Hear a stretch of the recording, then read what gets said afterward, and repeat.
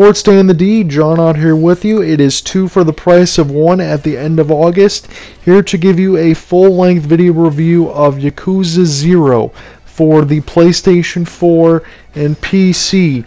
And I'm going to do the best I can to give you a full length video review coming from someone that has never played the Yakuza series before. So, if you're not familiar with the Yakuza series, it's an action adventure type free roaming game that spans so far six different games and two remakes. This is Yakuza 0, the prequel, the beginning of all the series. If you're going to get into it, I would recommend that this would be the first one that you play. It is 0 and then 1 through 6, and then there is Yakuza Kiwami, which is a remake of 1, and Kiwami 2, which launches this week, which is a remake of Yakuza 2. So if you're going to play 0, 1, and 2, the prequel and the first two games in the series, now is the best time to do it. And I believe Yakuza 6, The Song of Life, will be the final game in the series for the character arc for Kazuma Kiryu.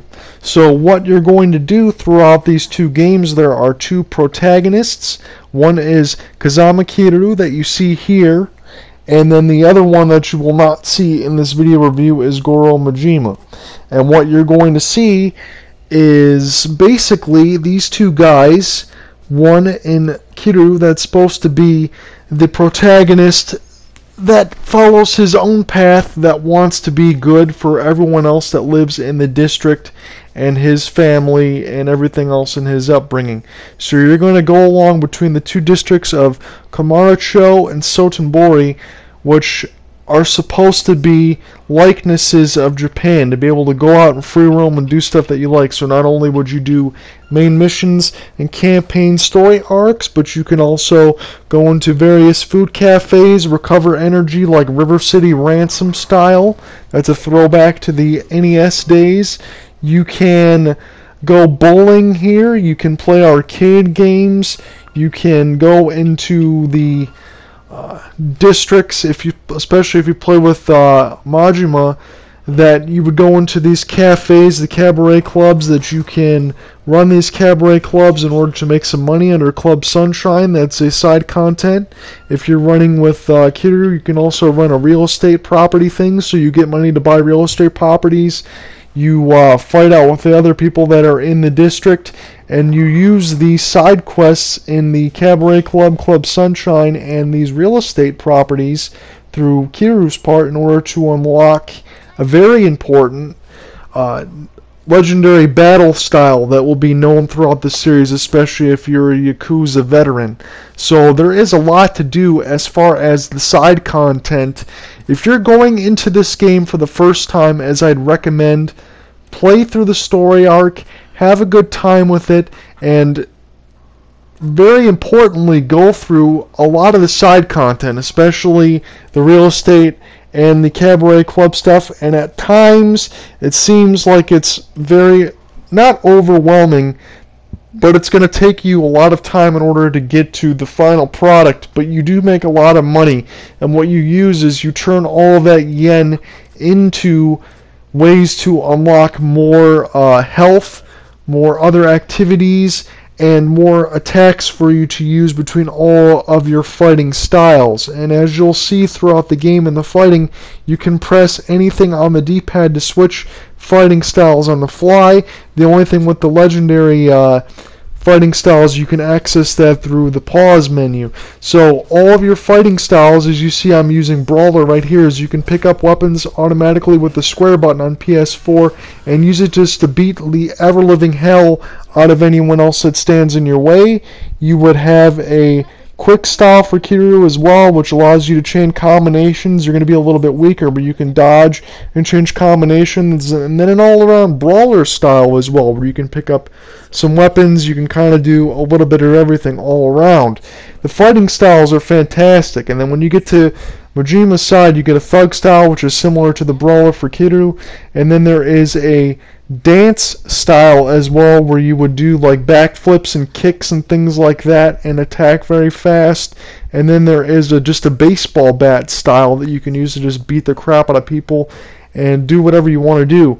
And not to mention the secret fi- fighting styles that are available to you, as I mentioned, after you beat the side content. So, what's the story like?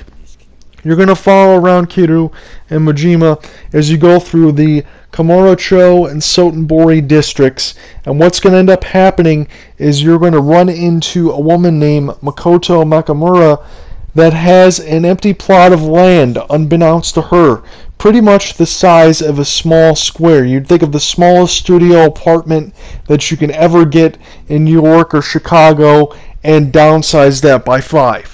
She's left a plot of land unbeknownst to her, and within the clans that Kiryu and Majima are in, they're all fighting in order to control the whole city and district. And the last piece of land that's there is this empty lot that you see here, pretty much. And what they want to do is they want to gather that empty land, gather the control of the entire city, and do what they will. And that's about as far as the story goes through Yakuza 0. There's going to be a lot of betrayal, intrigue, killing, plot points, plot twists, and stuff is just going to be an absolutely crazy.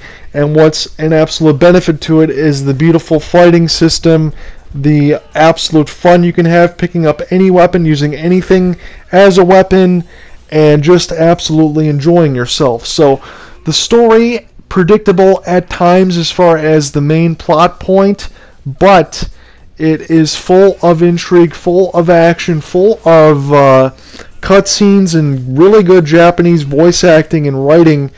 The uh, cutscenes in the videos are absolutely fantastic. I don't really see a lot of videos and stuff nowadays, but it seems like the team at Sega and the team behind Yakuza have done an exceptional job to probably make this, and what I've heard a lot of people see, say in message boards and all that, the best game in the series.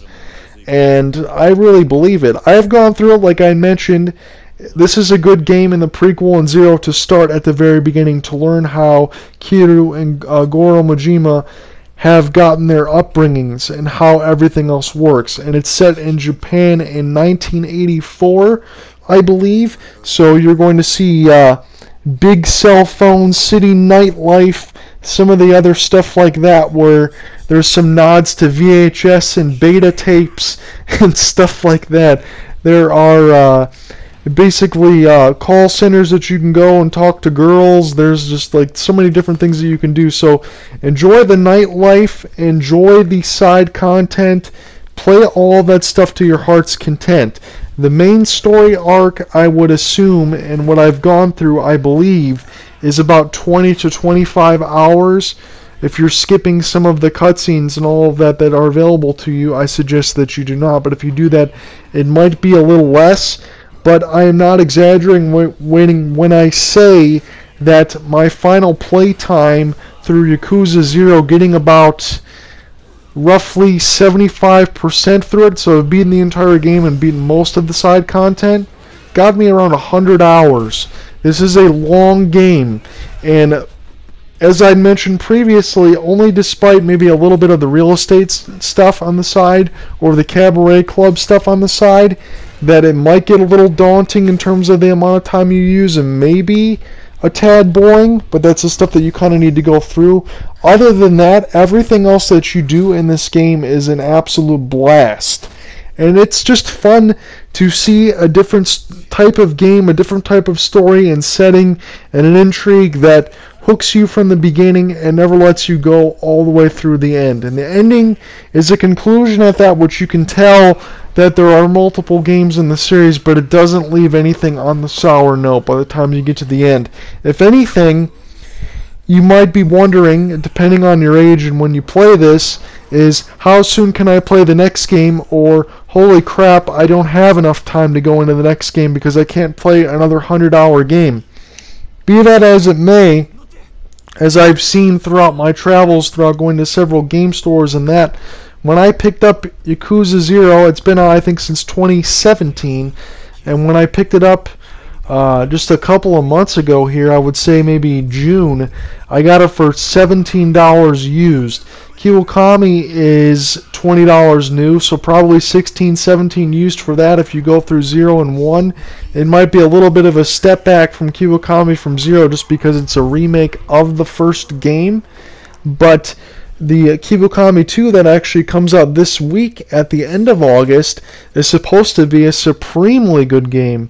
So if you kind of go through 1 and 2, you can go through that when you get a chance, or if you hold off a little bit, you could probably get this entire series from what I know right now in 0, 1, and 2, and then 6 that's already out.